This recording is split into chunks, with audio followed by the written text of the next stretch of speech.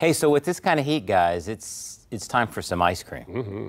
Yeah. And a new ice cream shop is open for business as the coronavirus pandemic continues.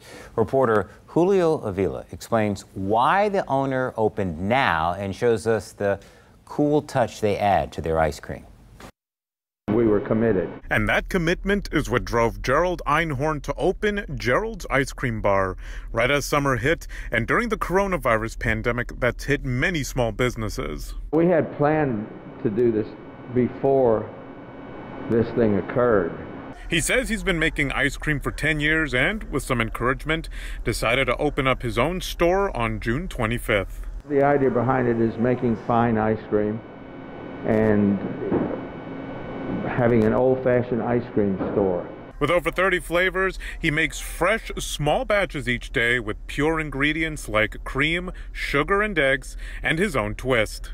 Present an old-fashioned ice cream store using modern techniques. Now a key element to Gerald's ice cream is liquid nitrogen and this is what this machine right here does.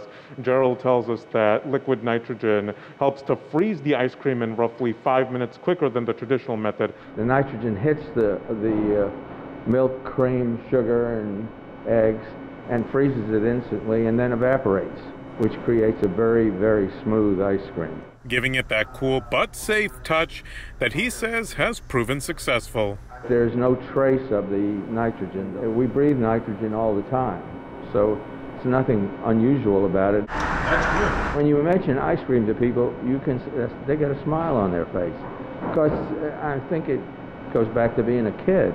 They also offer milkshakes, a selection of cakes, and chocolates. We'll have more information on Gerald's Ice Cream Bar on WTKR.com. In Virginia Beach, Julio Avila, News 3.